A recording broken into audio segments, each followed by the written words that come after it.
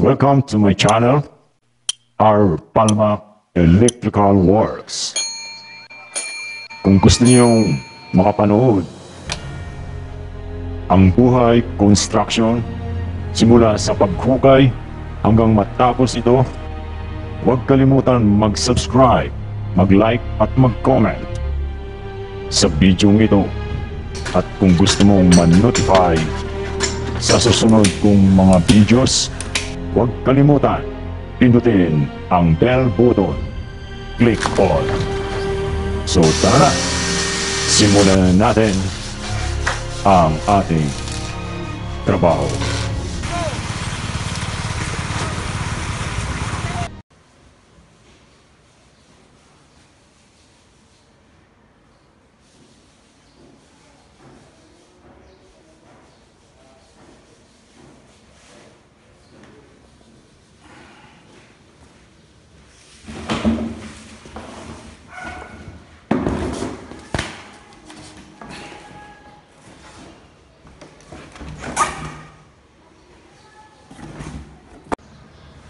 Hello guys, good morning. Uh, meron naman tayong gagawin, no? Magkakabit tayo ng CCTV.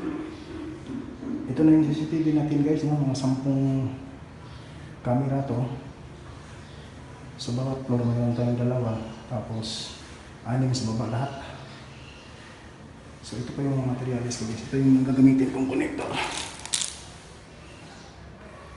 So samahan niya ako guys. Magkabit. Ah, bali itong wires na to. Hindi natin ito magagamit dahil meron po tayong mga wire doon na nakalagay na yung RG59. Yung CCTV wire po yun guys.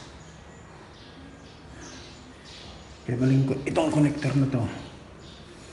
Bali hindi na natin magagamit so ito na kapalit natin. Ito. Ito naman yung sa wire supply connector. So guys, umpisa na tayo.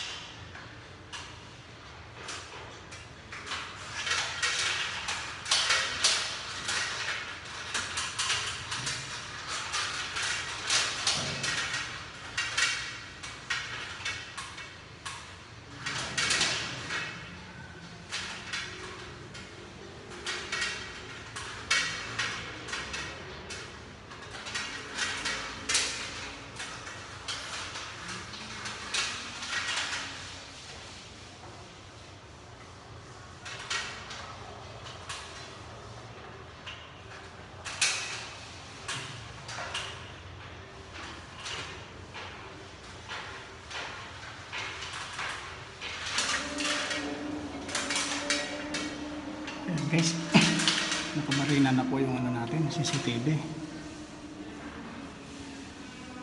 So, i-connect na po natin sila.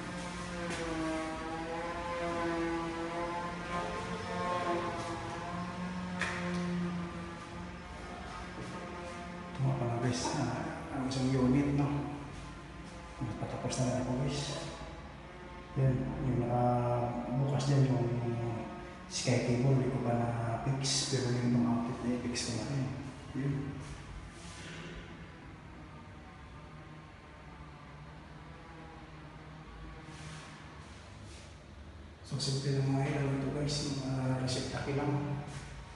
Si, ano lang kasi ito, uh, apartment. So, ito po yung CR nila. Yun. Ito yung bedroom. Yun. Nag-keyboard ko na naman, di ba na-fix. Hindi na talaga ako. Tapos na ako dito. Okay guys, tapusin na natin yung CCTV.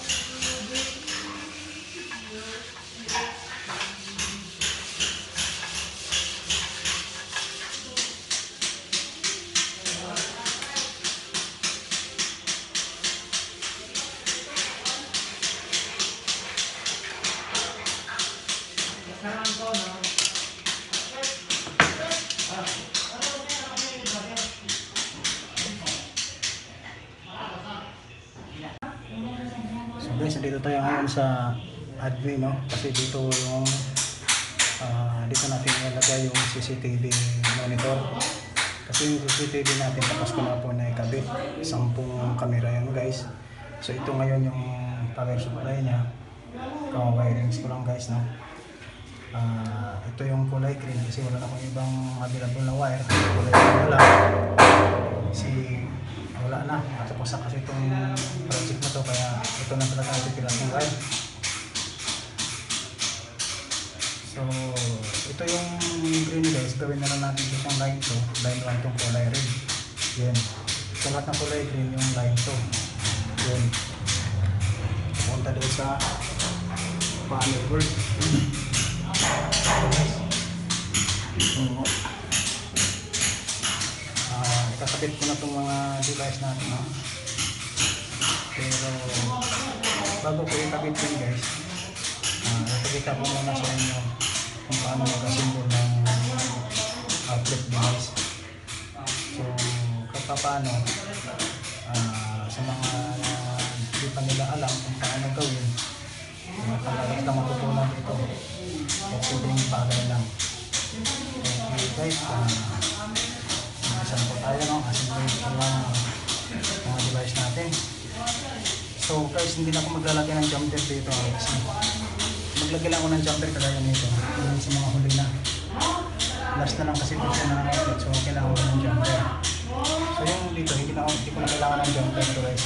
Kasi ni-stress ko na po siya. So ipapakita ko sa inyo guys kung paano ko gawin. So sa mga marunong na dito, alam na rin na ito. Kasi hindi nang lagi siguro ginagawa. So, ayun. So guys, ito yung tugang outlet, no? So, ang pagtanggal nito guys, tugang plate. Pagtanggal nito guys, kung makita nyo to, yung butas na to, yun yung sisikwatin yung mga ano, flat screw. Yun, matatanggal na siya. Tapos, ito yung outlet device natin. So, ilalagay natin siya dito sa plate. So, paglagay nito guys, ito lang. May mapapansin kayo nitong metal, ito lang yung ilalagay niya dito, tusok nyo rito. Tapos, yun. Tapos, i-press nyo lang. Yun. Pag tutunog na yun guys, okay na yun. So, ito rin. Yun. So guys, wala akong jumper dito. Hindi na ako maglalagay ng jumper dito. Dito. Kasi iba yung wirings ko dito. In-splice ko na lang. So, ipapakita ko sa inyo guys kung paano. Ipakita ko lang sa inyo paano magkabit. So, medyo nagmamadali nga ako. Kaya ito lang munang isa. Ipapakita ko sa inyo kasi maya maya magkabit pa ako ng CCTV. At tapusin ko muna yung gawa ko kasi ah yung camera na ikabit ko na. Bali ito na yung power niya. So, kailangan lagyan ko muna din siya ng mga outlet para mamaya isaksak na rin yung mga adapter ng ah, CCTV. So, ikabit ko muna guys ah. So ayun guys, kung nakita nyo, hindi na ako nag-jumper kasi splice niya siya rito. Connection na to siya. Parang jumper pa rin yung pagkanon guys, kaso lang, pagkaiba lang niya guys. Hindi ko siya tinusok dito. Naka-splice yan siya. Kasi kung sakasakali guys, kung isa mas mga device dito na masisira, hindi pa rin may epektuhan tong uh, trigang natin na outlet. Ginawa ko tong trigang dahil marami nga sasaksak dito guys. Ito. Bali yung line 2, sa ilalim, yung kulay green. Ito, line 2, kulay green. Line 1 naman yung kulay red. So yan guys, makapansin yung kulay green. Green, line 2 yan. Hanggang dito, ito line 2. Hanggang doon sa panel board. Yun. So kulay green na lang yung wire ko guys kasi wala na akong ibang available pa na wire. So ito, blank plate na lang ito kasi medyo marami na yung abang ko. So, siguro guys, nakita nyo na kung paano mag-wirings ng outlet. Ah, siguro, ikakabit ko na to siya, no? So, ah, ito lang. Ah, simple lang naman to guys. Sundan nyo lang yung nakita nyo sa video. At matutunan nyo rin yan sa mga hindi pa gaano marunong dyan Yun, tingnan na lang yung video ko. Baka sakaling na makakatulong to sa inyo. Pero ingat lang kayo sa paglagay ng wire guys ha. Baka mag-short circuit kayo. Kung may tester kayo, ititester nyo lang para sure tayo.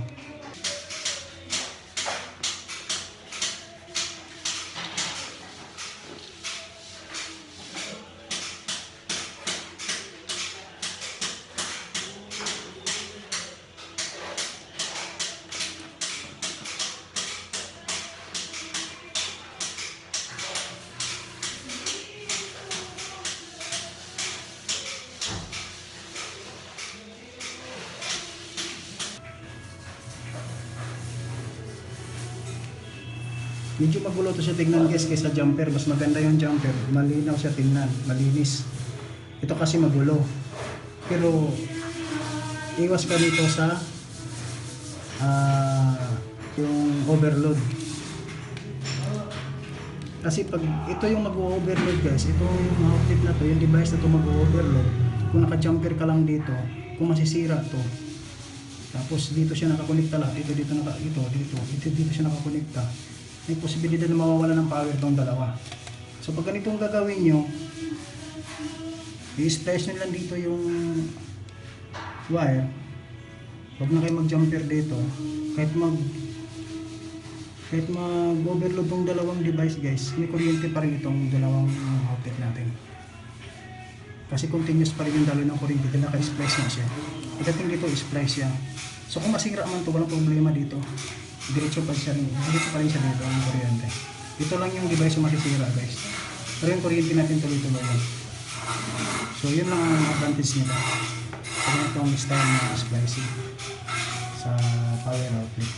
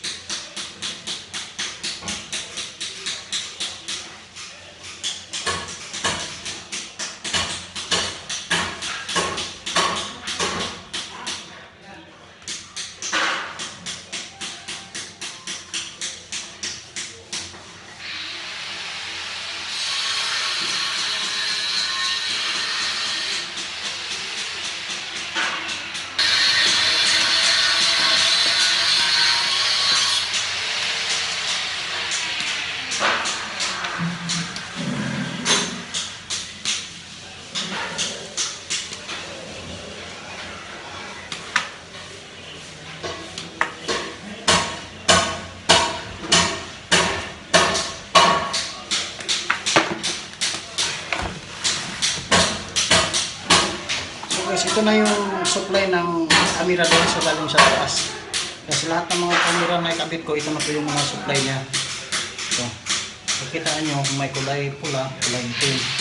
So yung kulay pula na yun, yun ang pinaka-positive niya.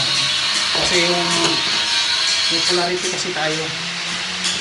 Ah, ang polarity kasi sinusunod itong camera guys. Baka kasi magkamali tayo, baka masira yung camera natin. So, ito guys, ito yung female connector ng DC connector. Ah, may polarity din ito guys. Ito yung, ito yung positive, positive, negative. Pero malalaman mo siya kung saan yung positive, negative, kung medyo burado na yung palatandaan niya guys. Ang gawin niyo, iharap niyo lang ito. Ito mismo, iharap niyo to sa sarili niyo. Tapos, right side, yun ang positive. Basta i-harap nyo guys. Pag, pag ganun nyo siya, so hindi na yung positive yung right side. So ito yung iharap nyo. Itong kulay green yung ipalabas nyo. So, right side lagi ang positive. Ang negative naman sa kaliwa. Yun lang naman ang pagtandaan guys, kung burado na yung ah, side dito na positive and negative. So, ang pagkabit guys, so, siyempre, yung kulay red, sa positive yun. yung black, yun naman sa negative. So, simple lang naman siya guys. I-screw lang naman siya eh. So, ito, papakita ko ah. At titingnan natin. So, yung positive, kulay red, yun lagi natin tandaan.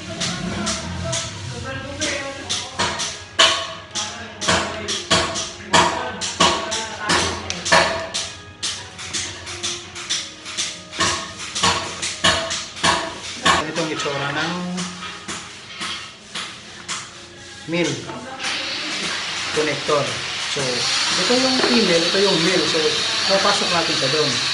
So, babae, lalaki. Pati rin pala sa mga connector, may babae, lalaki, no? So, ganun lang yun. Kapasok na yun. Yun ang purpose niya. So, dito yun siya, guys. Sa adapter. Ang supply ng CCTV. Ayun. So, sa isang adapter, apat na kamera yung dala niya. So, sampung kamera, tatlong adapter lang. May spare pa akong dalawa. Kasi, wal, apat, walo. So, labing isa yung tatlong adapter. So, napasobra yung mga abang kong outlet. So, may titik pa, may EDR, saka kung ano-ano pang lalagay kasi ito yung pinaka-opisina ng admin. So, meron pa akong mga spare pa mga saksakan guys. So, ayun lang guys. Saka ito naman, saka yung connector ng ano, video. Dito naman siya. Ito. Yun.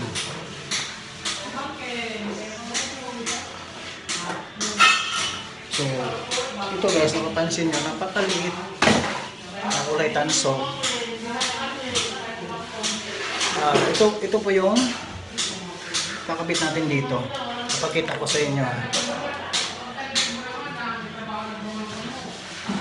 Actually guys, marami namang mga connector na pang CCTV no hindi katulad nito. Pero ito kasi yung napili namin, ito yung nabili namin, so wala kaming magawa. Meron pang mas maganda dito guys. So ano lang gawin guys, katingin na lang yan dito, yung dulo.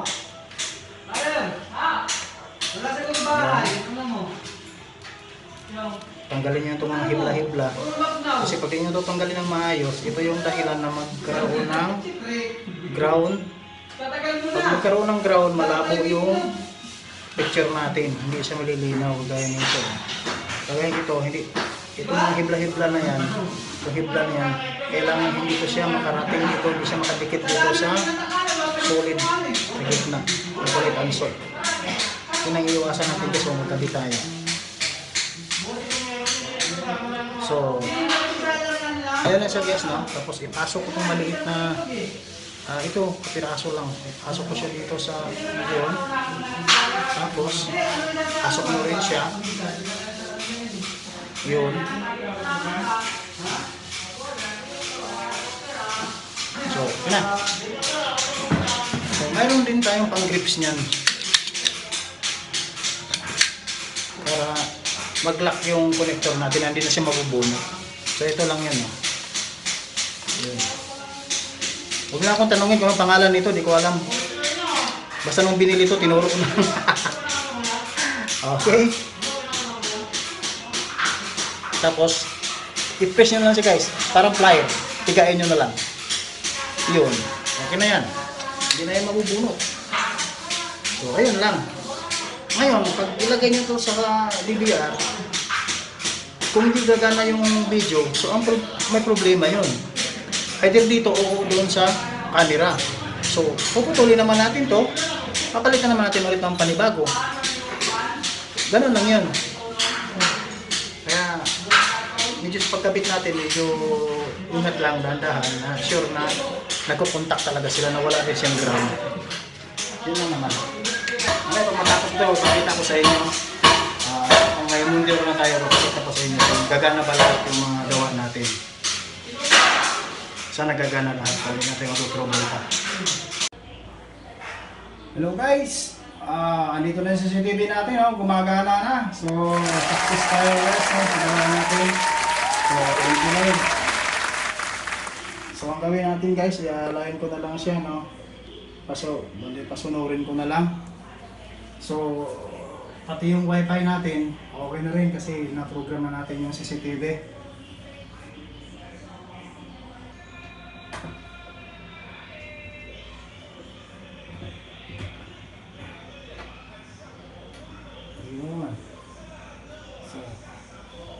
Guys, oh. Dito ko siya tinutusok guys. Eh. Kinakonect ko siya sa DVR ito. Kaya ito yung mga naalayan ko na lang kayo. Pinapasunod ko na yung first floor, second floor, and third floor. Pati dun sa gate, sa labas. So ito na yung kulalabasan niya guys. Oh. Ayan.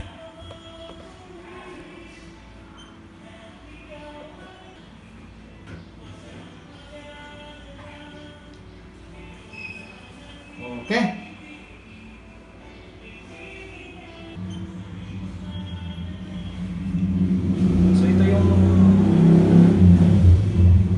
Guys, ito yung labas sa gate. Itong apat na to. Yan. Sa loob ng garahe ito lahat guys. Tapos ito naman yung second floor. Ito naman yung third floor. So, okay guys. Natapos din yung project natin. So, maraming maraming pong salamat sa mga nanonood at laging sumusuporta sa channel natin. No? So, subscribe na lang din channel natin. And click nyo na lang yung notification bell para lagi po kayong updated sa aking susunod pang mga video. So hanggang dito na lang guys. Maraming maraming maraming maraming pong salamat sa inyong lahat sa inyong papapanonood. Okay. Aboy. Bye-bye.